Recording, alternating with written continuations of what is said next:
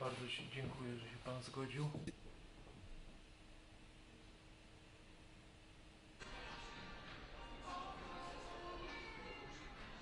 E, Wierzymy, że e, przez dobrą zabawę można uczyć się historii e, i będziemy kontynuować tą linię.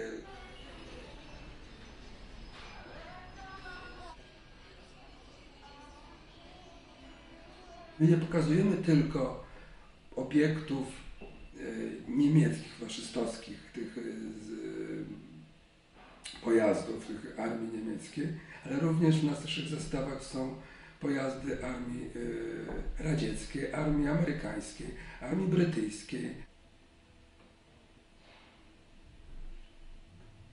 Nie możemy tego łączyć z oddzie- oddzielać od historii. Podczas nasza historia, cała historia Europy niestety jest nasiąknięta tym rasizmem z II wojny światowej i od tego nie uciekniemy. Od tego się trzeba uczyć w szkołach dzieci, trzeba o tym dzieciom przypominać, żeby to się nigdy więcej nie zdarzyło.